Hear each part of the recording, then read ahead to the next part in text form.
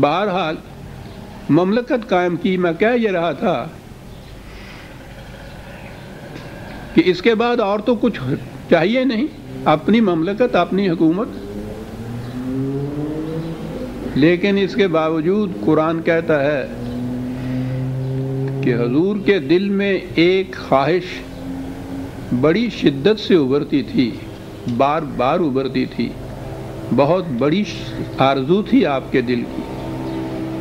کیا چیز تھی؟ قرآن کے الفاظ میں یہ جو میں نے کہا ہے کہ ابھرتی تھی، قرآن کے الفاظ میں ہے۔ حضور مدینہ میں تشریف رکھتے تھے۔ کعبہ مکے میں تھا۔ کعبے کا مقام کیا تھا؟ یوں تو ایک مختصر سی چار دیواری کا ایک کوٹھا ہے جسے کہتے ہیں۔ وہ کوئی عالیشان محل بھی نہیں ہے، کوئی بڑا مکان بھی نہیں ہے۔ کوئی خوبصورت عمارت بھی نہیں ہے۔ لیکن وہ سمبل ہے ایک۔ وہ علامت ہے ایک۔ اسے خدا نے اپنا گھر کہا ہے۔ اسے اپنی حکومت کا مرکز قرار دیا ہے۔ یاد رکھیے کیپٹل سٹی جسے آپ کہتے ہیں دارالخلافہ، وہ اور ہو سکتا ہے۔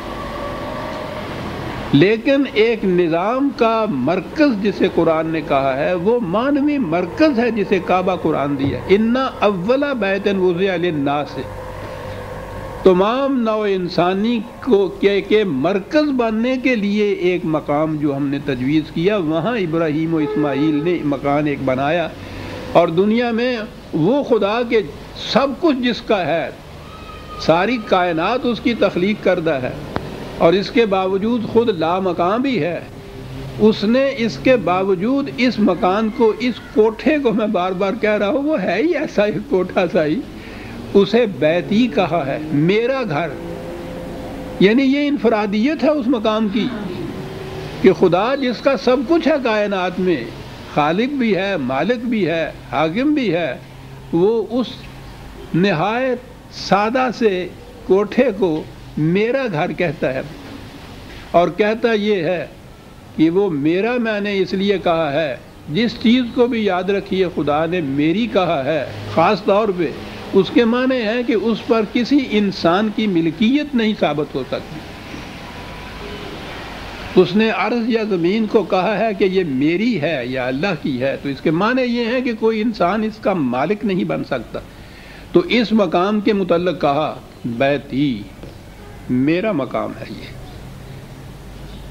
بڑی اہمیت کاہے کے لیے ہے؟ ناس یہ کسی خاص فرد کا، اس کے خاندان کا، اس کے قبیلے کا، اس کی قوم کا مقام نہیں ہے۔ پوری نو انسانی کے لیے ہم نے اس کو تجویز کیا ہے۔ قرآن کریم کی تعلیم کا منتہا یاد رکھیے عزیزان من، یہ ہے کہ وہ کانن ناس امتن واحدتاً۔ وہ تمام نو انسانی کو ایک عالمگیر امت یا قوم یا ملت بنانا چاہتا ہے۔ یہ اقوام کے اور یہ قبائل کی جتنی تفریقات ہیں، وہ سب کو مٹا کر صرف انسانیت کے بیسس کے اوپر ایک عالمگیر برادری متشکل کرنا چاہتا ہے انسانوں کی۔ اور اس عالمگیر برادری کا ایک مرکز اس نے تجویز کیا ہے، جسے کعبہ کہا جاتا ہے۔ یہ ہے کعبے کا مقام۔ یہ اس کی اہمیت آج کی اصطلاح میں یوں سمجھ میں آئے گی کہ جب ہم مثلا کہتے ہیں کہ یہ ماسکو نواز ہے یا اس کا تعلق ماسکو سے ہے۔ اس کے معنی ایک شہر کے نہیں ہوتا جس کو ہم ماسکو کہتے ہیں۔ ماسکو ایک علامت ہے ایک نظریہ زندگی کی، ایک فلسفہ حیات کی، ایک نظام مملکت کی۔ وہ جسے کمیونزم کہتے ہیں۔ وہ آپ دیکھیں گے کمیونزم نہیں عام طور پہ کہا جاتا۔ کہا یہ جاتا ہے کہ یہ ماسکو نواز ہے۔ تو یہ اس قسم کے جو شہر ہوتے ہیں، وہ علامت بن جاتے ہیں در حقیقت اس نظریہ حیات کی جن کا وہ مرکز ہوتا ہے۔ ماسکو کے معنی کمیونزم کا مرکز ہے۔ اس سے آپ سمجھ میں بات آ جائے گی کہ جب قرآن نے یہ کہا کہ مکہ علامت ہے نو انسانی کی مرکزیت کی، تو اس کے معنی یہ ہیں کہ وہ نظام حیات جو خدا نے تجویز کیا ہوا ہے، اس کے مطابق پوری نو انسانی ایک امت، ایک ملت کی شکل میں جب متشکل ہوگی، تو ان کے اس نظریے کی علامت جو ہے، وہ کعبہ ہوگا، وہ مکہ ہوگا۔ یہ ہے کعبے کی حیثیت اسلام کے نظام میں، قرآن کے نظام میں۔ قرآن نے جہاں کہا ہے نا کہ جہاں بھی تم ہو، فول وجہ کا شطر المسجد الحرام۔ تو اپنی نگاہ کے سامنے اپنی نگاہ کا نصب العین جسے آپ کہتے ہیں، وہ کعبے کو رکھو۔ جہاں بھی تم دنیا میں ہو، دنیا کے کسی کسی حصے میں بھی تم ہو، تمہاری نگاہوں کا منتہا نصب العین، جہاں جا کے نظر ٹکتی ہے کسی کی، اس کو کہتے ہیں نصب العین۔ وہ کعبہ ہونا چاہیے۔ دنیا میں کہیں بھی تم ہو۔ تو آپ نے غور کیا اس کے معنی کیا ہے پھر میں اسی آج کی مثال کے اوپر آتا ہوں۔ امریکہ میں بھی کمیونسٹ ہے تو اس کی نگاہ ماسکو پہ ہوتی ہے۔ اگر وہ افریقہ میں ہے، پھر بھی اس کی نگاہ ماسکو پہ ہوتی ہے۔ ہندوستان، پاکستان میں دنیا کے کسی خطے میں بھی اگر وہ ہے وہ کمیونسٹ، وہ ہم کہیں گے اس کی نگاہ ماسکو پہ ہوتی ہے۔ ماسکو وہ مرکز ہے جو اس کے نظریہ حیات میں ایک جامعیت کی حیثیت رکھتا ہے۔ اس کی نگاہ ماسکو پہ ہوتی ہے۔ معنی یہ ہیں اس کے کہ وہ اپنی نگاہ کمیونزم پہ رکھتا ہے۔ تو قرآن نے جو کہا ہے نا کہ تم دنیا کے کسی خطے میں بھی کیوں نہ ہو، اپنی نگاہ کا نصب العین کعبے کو قرار دو۔ تو اس کے معنی یہ ہے کہ یہ نظام جو خدا کی طرف سے دیا گیا ہے، قرآن کا نظام، اس نظام کا مرکز محسوس۔ اس نظام کا مانوی مرکز تو قرآن ہے۔ اس کا مرکز محسوس جو ہے وہ کعبہ ہے۔ تو کہا کہ جہاں بھی تم دنیا میں ہو، اپنی نگاہ کا منتہا نصب العین کعبے کو رکھو یعنی اس نظام کو رکھو جس کا محسوس مرکز ہم نے کعبے کو قرار دیا ہے۔ اور ضمن بات آ جاتی ہے، جب پھر دین مذہب میں بدلتا ہے، تو پھر یہ جو قرآن کا ارشاد تھا عزیزان من، چودہ سو سال پہلے اس قسم کا نظام دینا اور اس میں یہ تصورات دینا دنیا کی تاریخ میں کہیں آپ کو یہ بات نہیں ملے گی۔ وہاں کہیں یہ نہیں کہا ہوا ہوگا عیسائیوں کو کہ تم اپنی نگاہ کا رخ کچھ تم دنیا کی طرف یا روم کی طرف رکھو۔ مجوسیوں کو کہیں نہیں کہا گیا کہ تم اپنی نگاہ کا رخ تہران کو رکھو یا شیراز کو رکھو۔ ہندوؤں سے کہیں نہیں کہا گیا، وہ تو خیر ہندوستان سے باہر کہیں جاتے ہی نہیں تھے کہ تم اپنی نگاہ کا رخ مثلا ہردوار کو رکھو یا بنارس میں رکھو۔ یہ چیز قرآن کریم نے پہلی دفعہ کہی ہے کہ جو مملکت کسی نظریہ یا نظام کے تابع وجود میں آئے گی، اس کا جو مرکز محسوس ہوگا، وہ تمہاری نگاہوں کا منتہا اور نصب العین ہونا چاہیے۔ الفاظ یہ ہیں کہ جہاں بھی تم ہو، تمہاری نگاہ کا منتہا اور نصب العین کعبہ ہونا چاہیے۔ تو میں کہہ یہ رہا تھا کہ یہ تو دین میں پوزیشن ہے، کعبے کی۔ اور جب دین مذہب میں بدلتا ہے تو پھر وہ الفاظ تو وہی رہتے ہیں، بلکہ وہ رسم بھی وہی رہتی ہے۔ نماز کی نیت میں آپ کو یاد ہے نا، ہمیں کہنا پڑتا ہے نا منہ طرف قبلہ شریف کے۔ بس اب وہ قبلہ شریف کا صرف یہ مقصد رہ گیا ہمارے لیے کہ نماز کے لیے کھڑے ہوں۔ تو وہ جو ہے نا چار رکعت نماز فرض اور نماز وقت ظہر کا اور پیچھے اس امام کے منہ طرف قبلہ شریف کے اللہ اکبر، رسمی طور پر یہ الفاظ ہم بول دیتے ہیں۔ اس کی پابندی بھی اتنی ہوتی ہے کہ رخ تمہارا صحیح نہیں ہوا نماز میں۔ مسجدوں کا رخ قبلے کی طرف کرنے کے لیے بڑی احتیاط برتی جاتی ہے۔ لیکن یہ صرف مسجد کا رخ نماز میں آپ کا منہ قبلے کی طرف بس اتنا ہی رہ گیا۔ وہ جو ایک نظریہ حیات، ایک نظام زندگی کا مرکز، ایک خدا کی کتاب کی عطایت کا مرکز محسوس، وہ کہیں تصور باقی نہیں ہے۔ ساتھ کی مسجد والا بھی یہی کہتا ہے، منہ طرف قبلہ شریف کے۔ اس مسجد والا بھی کہتا ہے، منہ طرف قبلہ شریف کے۔ دونوں کو نمازیں الگ الگ ہوتی ہیں۔ صرف منہ طرف قبلہ شریف کے ان سب کا مشترک رہ گیا۔ رخ کعبے کی طرف۔ قلب اور نگاہ کا مرکز اسے ہونا یہ کہیں باقی نہیں۔ یوں مفہوم بدلتا ہے مذہب میں آ کے رسم وہی رہتی ہے، الفاظ وہی رہتے ہیں، لیکن اس کا مفہوم بدل جاتا ہے۔ مسلمانوں کی مملکتیں اتنی ہیں، ہر ایک کا اپنا اپنا نظام ہے، اپنے اپنے ضوابط قوانین ہیں، اپنی اپنی مملکتیں ہیں۔ ایک دوسرے کے ساتھ جنگیں بھی ہوتی ہیں، لڑائیاں ہوتی ہیں، برسوں تک بھی چلتی ہیں۔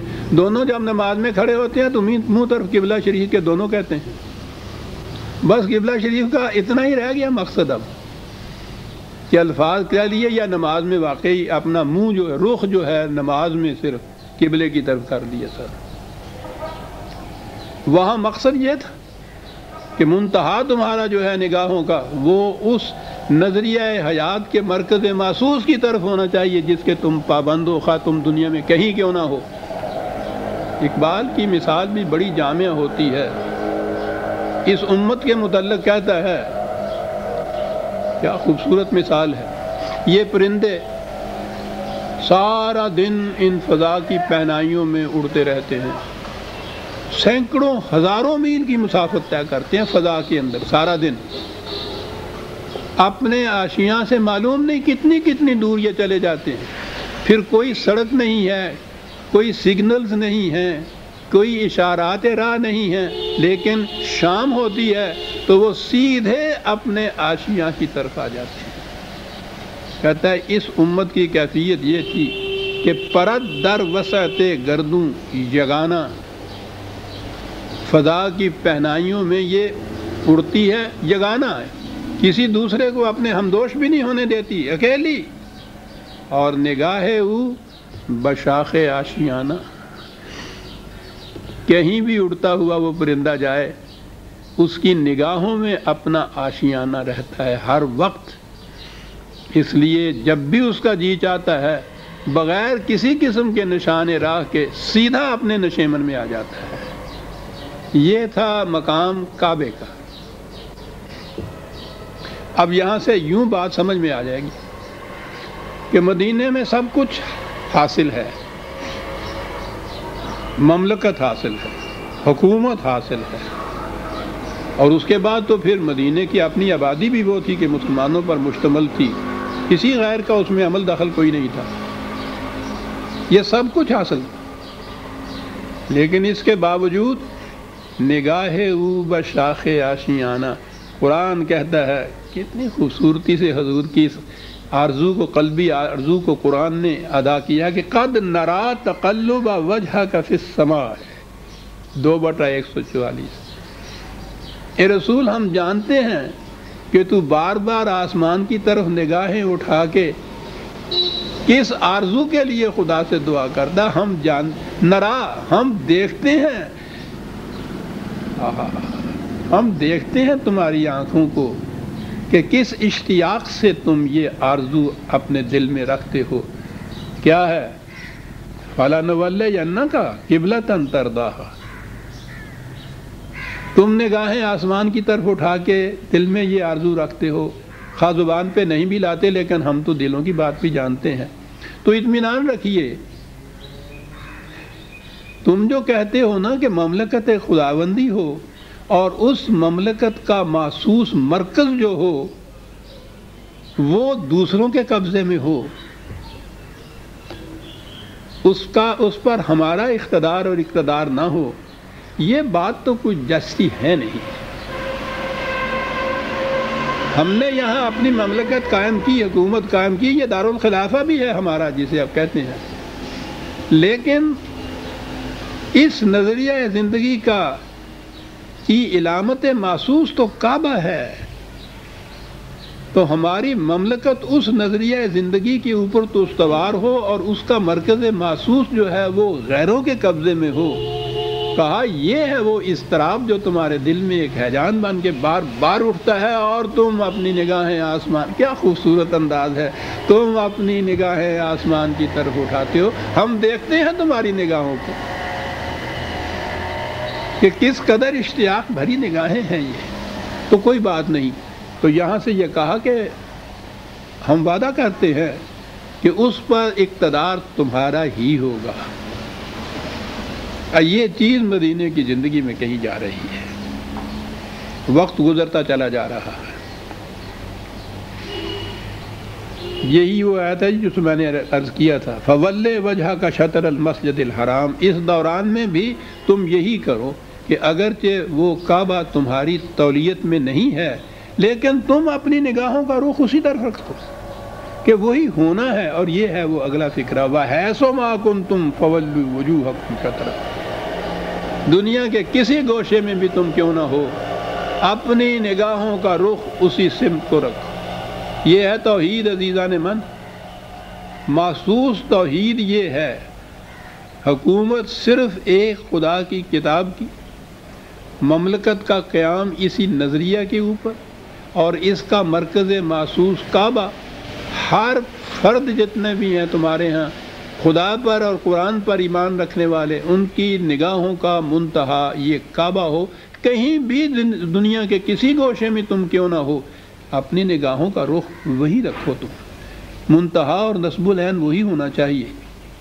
تو اب کعبے کی اہمیت ذہن میں آ گئی ہمارے۔ کیوں بار بار حضور کی نگاہوں کا رخ آسمان کی طرف اٹھتا تھا؟ اس آرزو کو قلب میں لیے ہوئے کہ کعبے پہ تولیت تو ہماری ہی ہونی چاہیے اور خدا اس کا وعدہ کرتا ہے کہ یہ ہوگا، ہم کر دیں گے یہ۔